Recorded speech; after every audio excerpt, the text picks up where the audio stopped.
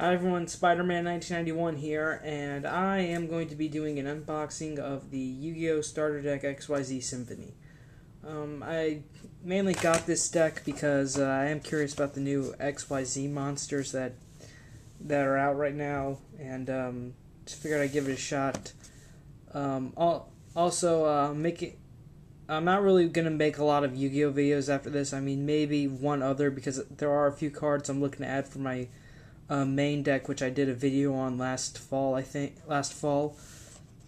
Um, but uh, no, I am gonna probably make a few more Yu-Gi-Oh videos, but just not a lot. Um, if I get the opportunity, I pro- probably will. It's more like an on-off basis for Yu-Gi-Oh, but mostly I'm still gonna stick with comic reviews and stuff. This is just giving me a chance to sort of expand my video topics and stuff.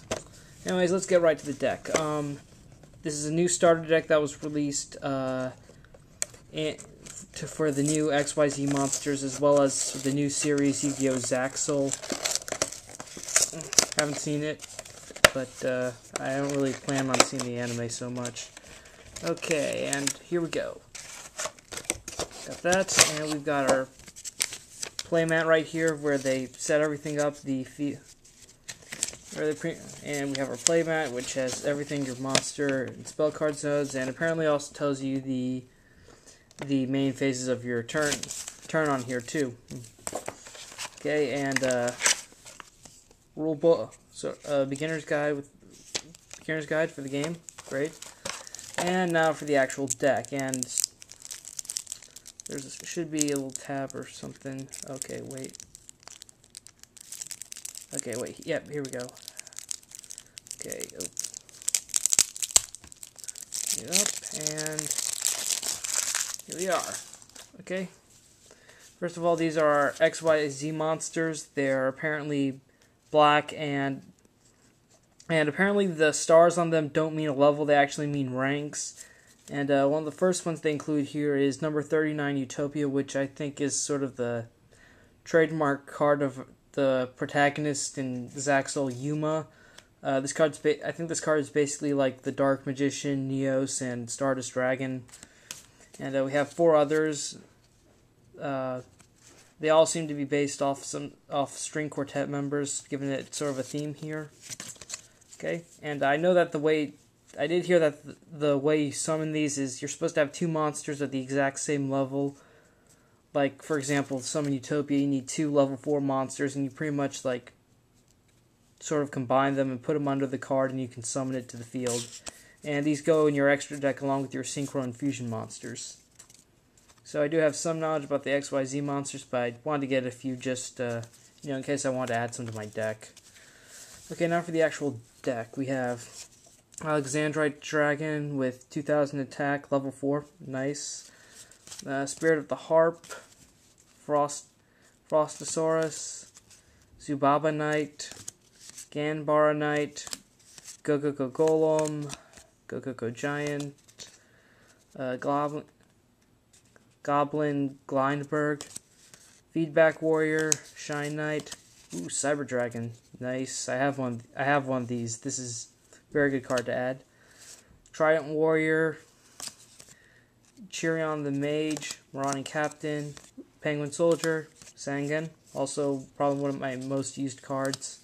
My main deck, two Giant Rats, two Shining Angels, Blustering Winds, Ego Boost, XYZ Energy, Star Changer, Swords of Revealing Light, Mystical Space Typhoon, Fissure, Gravity Axe, Grarl, Reinforcement of the Army, Burden of the Mighty, Heartfelt Appeal, XYZ Effect, Raigeki Break, Trap Hole, Dust Tornado, Magic Cylinder, Draining Shield. I know I use this one.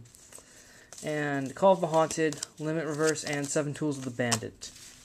Okay, well, basically it's a starter deck. This is just pretty much like a simple deck, including cards that pretty much every duelist should have in their deck, such as Mystical Space Typhoon and uh, Trap Hole, Raigeki Break, something like Magic Cylinder, Draining Shield. You know, it's it's not a bad deck for a beginner. I mean, I would definitely give this deck to a someone who's just starting out playing the game, and then they could sort of edit it later on with other custom monsters and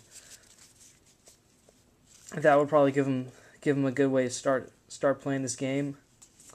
But uh, you know, this is a very nice deck. I think this is probably the first starter deck I've seen with duplicates of cards. I mean, I know structured decks usually have duplicates, but uh, I think this is the first one with like I've seen with the two two cards of the two of the same card in them.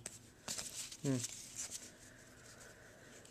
And well, uh, that's pretty much the XYZ Symphony deck. Um, it's not a bad deck. Uh, probably a good idea for starters and for anyone else who wants to get a start getting XYZ monsters because that's pretty much what the, the basis of this deck is.